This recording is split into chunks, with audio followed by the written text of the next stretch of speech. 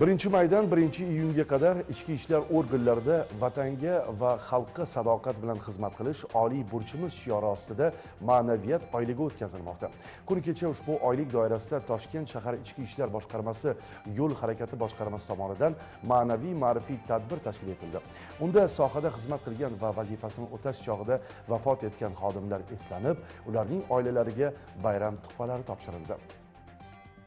Odiljon Xo'jayev qariyb 35 yil mobaynida ichki ishlar tizimida faoliyat olib borgan. Xizmat chog'ida ma'lum sabablarga ko'ra jarohat olib, nafaqaga chiqishga majbur bo'lgan. O'zi bilan yelkadosh bo'lgan va martlarcha halok bo'lgan do'stlarini bugun u shunday eslaydi.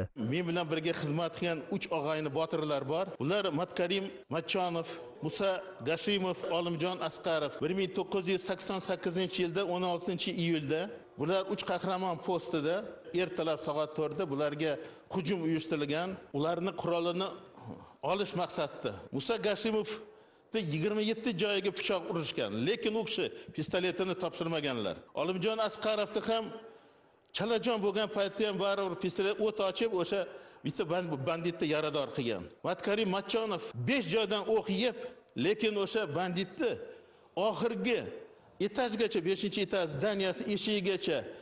Quvlab uni eshigida o'sha yerda poylab turgan paka madad kuchlari kelguncha. Man bularni xotirasidan oldida tiz cho'kaman. Tashkil etilgan tadbirga halok bo'lgan xodimlarning oila a'zolari ham taklif etilgan bo'lib, Vatan xayriya jamoasi Toshkent shahar fondi hamkorligi bilan ularga uy ro'zg'or uchun kerakli jihozlar va farzandlarining kontrakt pullari bayram tuhfasi sifatida topshirildi. Mana turmush o'rtog'im Turonov Azamat xizmat paytida 2012 yil halok bo'ldilar.